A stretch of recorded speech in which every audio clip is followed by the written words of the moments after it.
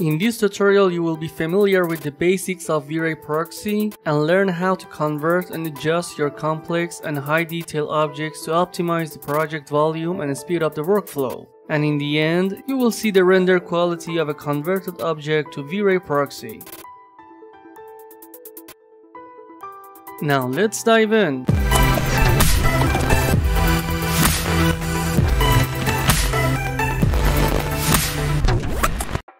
Hello everyone, I'm Saeed Mandegar. Hope you're well and doing great while watching this video. In this video I'm gonna show you how to convert high detail object to proxy and how to adjust that proxy object. For those who are not aware of proxy advantages, I have to say using a proxy will lighten the volume of your object without losing the render quality, so it helps to optimize your scene and speed up your workflow. Just notice that you can change or edit the object material after converting it to V-Ray proxy. So make sure you applied all the last changes and the object is ready for your final render.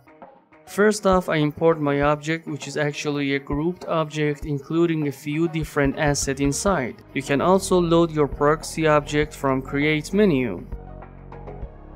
I right click on the object and choose V-Ray Mesh Export. If you have a specific project folder for your current scene, you need to specify the export location. If your model has sub-object, you have to choose export all, so whenever you want to reuse this proxy in other projects, it will appear as the way you see in your current scene.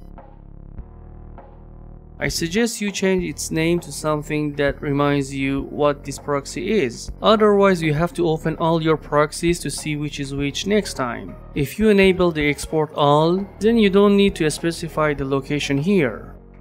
Preview Mesh helps you to choose one object to preview this proxy in viewport.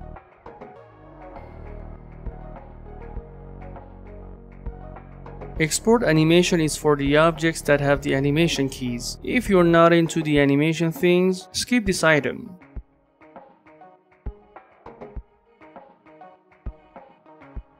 Automatically create proxies. If you enable this item, it creates objects for exported meshes which will have the correct transformation and material derived from the original objects. As soon as you press OK, the original object will be deleted. Export point clouds give you a various level of details which can be used by the proxies for saving memories when rendering distance objects. Enable create multi-sub-object material and condense multi-material to keep all the materials you have on your object. Otherwise it will be exported only with one material.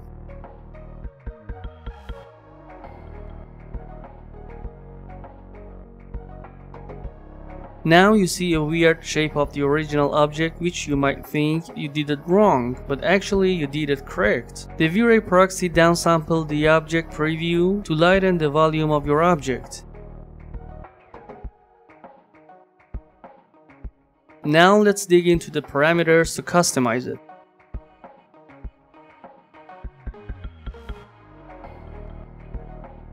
Under Proxy Files tab, you can load your proxy if it's not imported correctly. Notice that if you change the word of its name, it will be lost.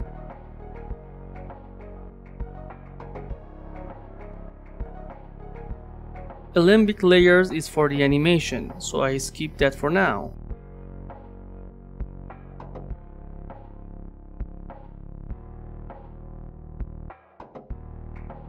In the display area, you can modify the preview.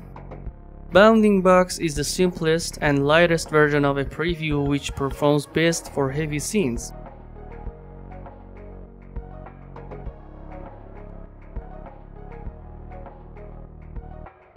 Preview from the edges looks weird, cause you can't identify the materials or colors, so I skip to a better choice, which is preview from the faces. It's simplified, still clear to identify the object by the diffuse map of its material. If you choose point preview, you won't be able to find it, so let's skip this too. And lastly, if you want to go back to the original preview for a second, you can choose show whole mesh, which is also customizable via proxy mesh visibility.